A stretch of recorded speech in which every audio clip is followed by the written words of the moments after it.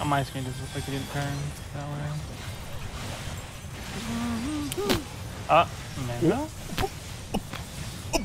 Did he at least jump?